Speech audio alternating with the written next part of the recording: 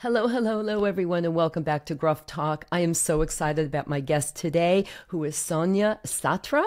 And you may have seen her on A Guiding Light and One Life to Live. She is a former soap opera actress, but she made a major pivot into becoming an award winning speaker and also a coach. So we're going to talk about that.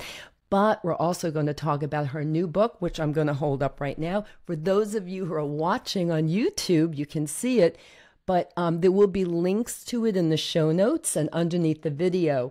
And it is called What If It Were Easy?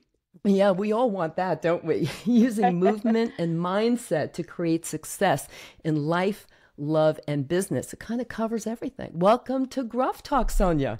Thank you. Thank you so much. I'm happy to be here. So, okay, I mentioned you were once a soap opera star on two major shows, and then mm-hmm. you made a pivot to becoming a speaker and a coach and many other things outside of acting. Tell us about that. Why the pivot? When you're going through the pivot, you don't always necessarily know why you're doing everything you do. Um, but I, I know in my heart, there was always some desire to, to help people, to make a difference. And so I was very, very interested in mindset. I personally had a life coach way before people even knew what a life coach was. In fact, it was Tony Robbins' head coach who coached me. And I oh, knew. Oh, so you went right to the top. I did. I did. Round. to survive in acting, I realized, you know, it's all mindset. It's not always the best actor, but it's the person who can persevere, who can withstand the constant, constant rejection. So I really studied mindset as much as I studied anything else. And I was fascinated by it. And, you know, actors are studying mindset too as they're studying characters. So it all kind of fit uh, together. And also, I have to say, being an, an actor, you were, I think it was an easy pivot for you to become a speaker in front of many, many people. I mean, this is something you're used to. You know, you know when you give funny. a talk, people you're kind that. of acting, right?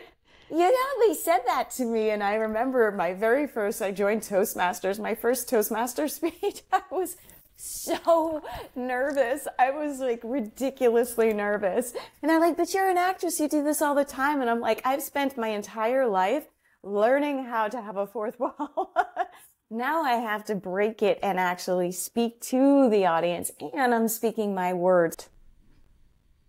So let's segue into uh, What If It Were Easy, your very first book, which yeah. is launching in October, which is very exciting. You know, yes. the first book is always, uh, oh, there's something so special about it. And yeah. this book is very special. I'm going to hold it up again for those of you who are watching on YouTube.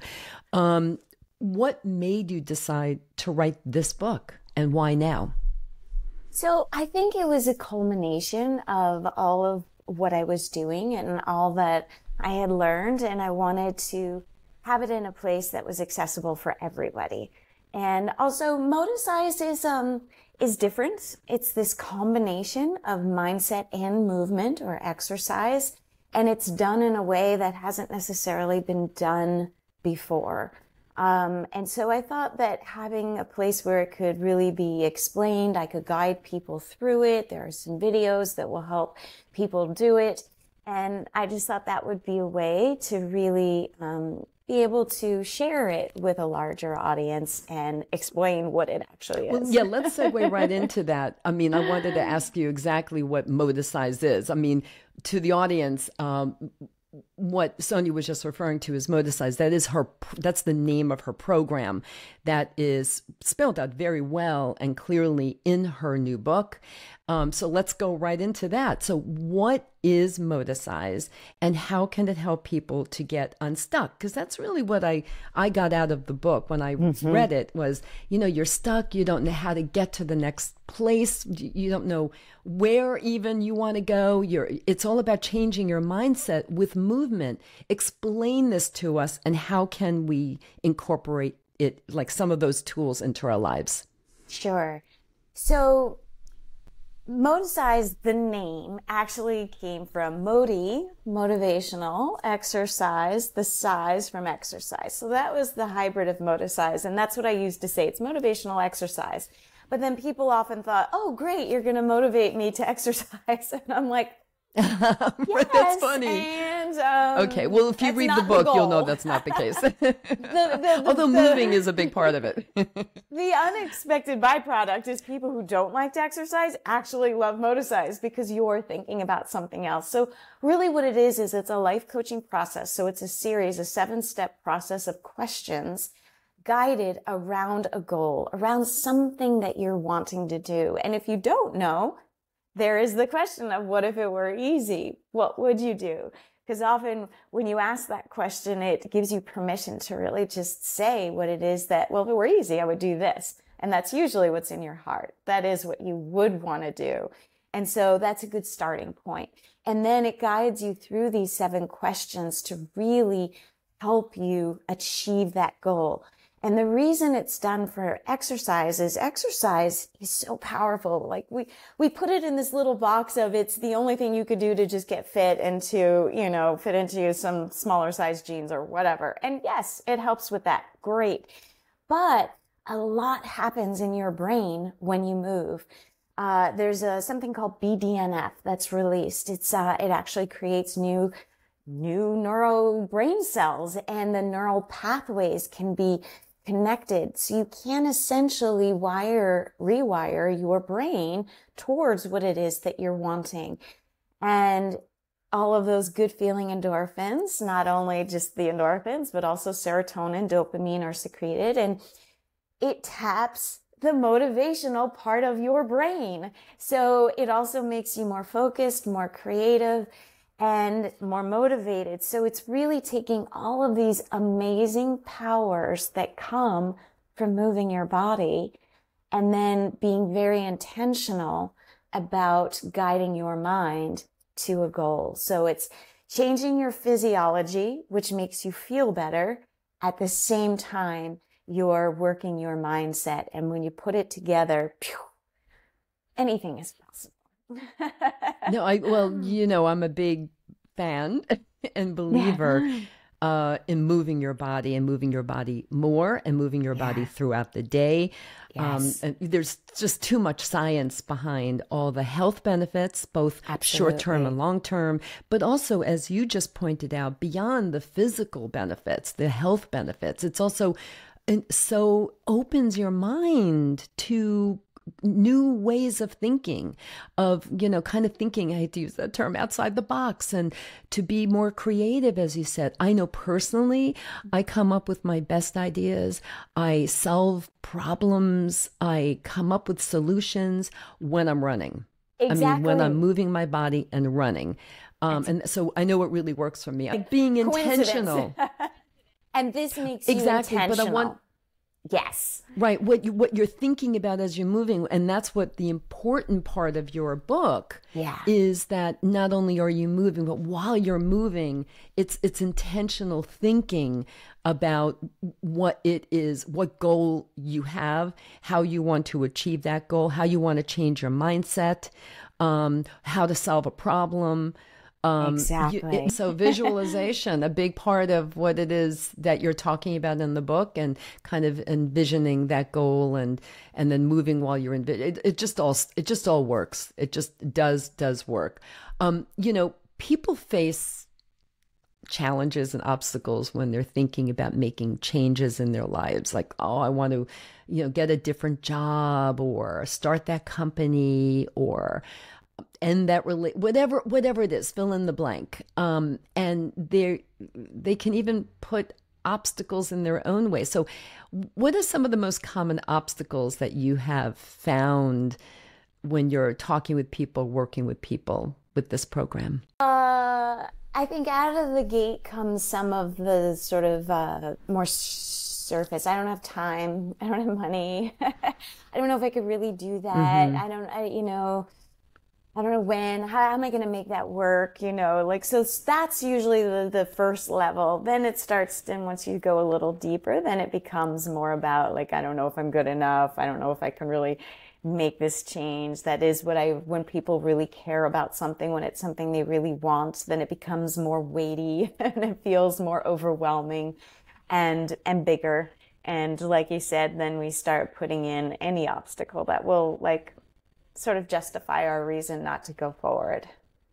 I would think fear of failure too, just kind of right off the bat must be Absolutely. there too. Oh yeah, fear I'd like to do this, but I'm, not good enough.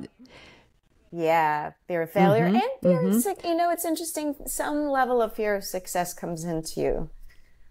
You know, it's going to change my life what does that mean? You know, we get used to being in our patterns. And when you suddenly look at any kind of life change, that feels scary, even when it's good.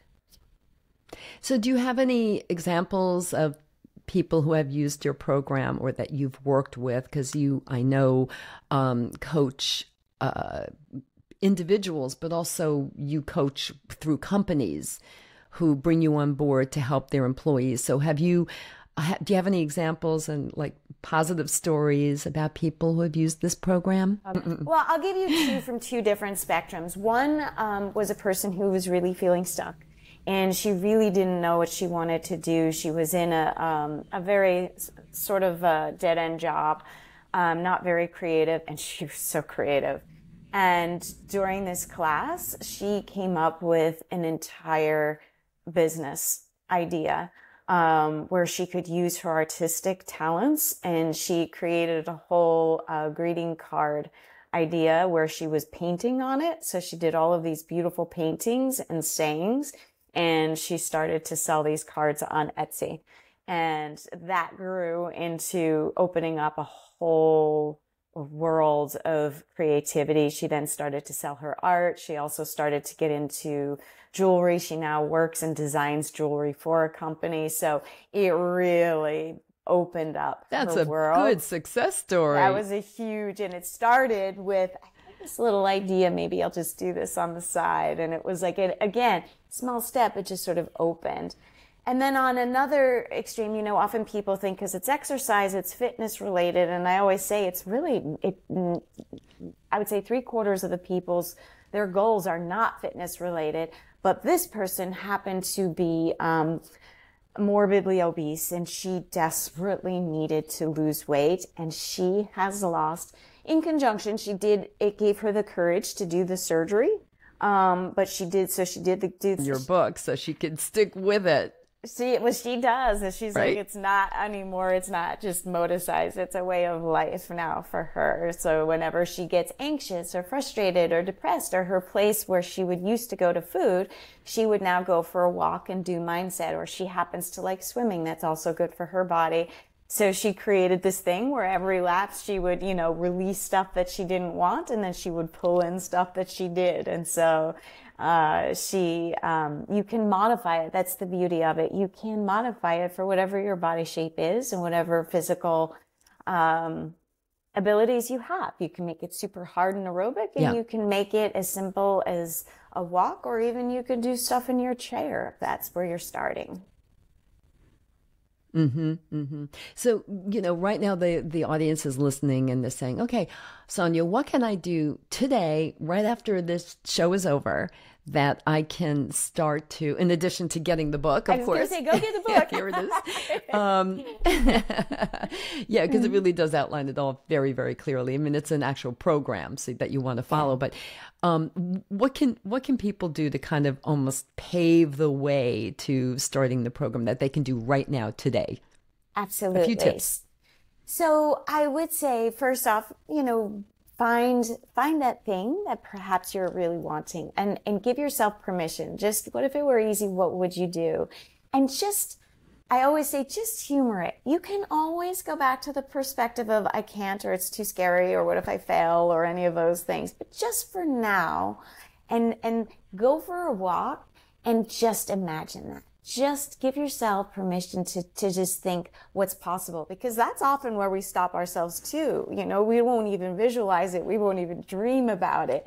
We won't even let ourselves do that. Right. So just to give yourself for the next 20 minutes or 10 minutes, I'm going to let myself just imagine what would happen if I did this? What would happen if you succeeded? And then this is a question from the book, but it's such an important one because another thing I see that people do is when they have a challenge, they look at the long list of reasons why they can't do it or the things they don't have. And yet we have so many things to make it possible. So look at, well, what's some things that you, what are some things you do have?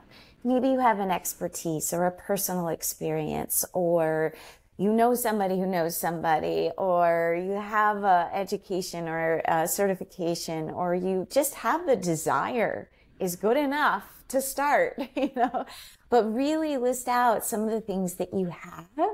And then with that, what's maybe one step you could take to move in that direction? And be kind, be gentle with yourself and just start mm-hmm. to take those little steps. I love that tip so much because very often I think people when they're thinking about a goal like maybe maybe it's a really big one like yeah. starting the company like the great example that you gave or losing a massive amount of weight you think I can't do it because I don't have the I, I don't have the qualifications I don't have the I don't have that so who am I to mm-hmm. try to to get, achieve that goal or have that as a goal um, and when you think about it, when you can pull together on a list, like even make a bullet point list of all of those things that really do add up, is a great tip. And then you can wow yourself, I think, when you look at that sheet of paper or, or the list that you've made in your head. Mm-hmm. It gives you a little more confidence. It mm-hmm. puts you in that position of, realization, all right, I do have some things. And from that perspective, when you're in a more positive perspective, you're so much more resourceful. And then you can tap into mm-hmm. that place that's like, all right, well, I have that. So then I could do this. But it changes actually your actions very often as opposed to, you know, I don't have this, or this, or this, and this. And then you, you go to something harder when really, when you start with what you have, you can go to, it will feed into that next action step that's not nearly as intimidating or overwhelming. Right. Definitely is a confidence booster. No question yeah. about it. All right, Sonia, this was really, really great. I wish you the best of luck with the launch of your first book. Um, Thank you. What if it were easy? And by the way, I really, we didn't go into it, but um, the story that you tell about how you came up with that title in the uh, the intro to your book. Uh, it's a, it's a great story, and it was like wowed me. I was like, wow, that mm-hmm. was really mm-hmm. quite resilient of you and your husband. Um, yes. And I, I just found that to be an, a great story that uh, all of you listening, uh, I think you'll really enjoy and uh, be quite motivated by. So, so Sonia really was great. Um, we're excited about the book. I always like to leave the Gruff Talk audience with um, three key takeaways that you really want them to remember from our talk today? What are they? So I'll go with the Moticise theme movement. Just move because movement will change how you feel in so many ways. So, whatever that looks like for you, move. Your mindset, um, shifting that perspective is so key. It really is asking questions that will elicit a better response. So instead of why can't I do this, asking good questions that will lead to better actions. And then try putting them together to really make it pop. so move, mind, and Wonderful. Moticise and Moticise. I love it. I, I, when I hear the word, you know, reading is one thing, but when you hear it, it's like I feel like I'm on a motorcycle. it's like zooming ahead to my goal. Moticising, get out there. I love it. Does fast track. Oh, you know, best of luck, Sonia. Where I've really changed. It's like manifesting through movement is really what starts to happen. Yeah, so yeah. It does. Absolutely. And we Go love that word happen. too. We love that word too. Go make it happen, everyone. Yes. All right. Thank you so much, Sonia. Thank, Thank you. you.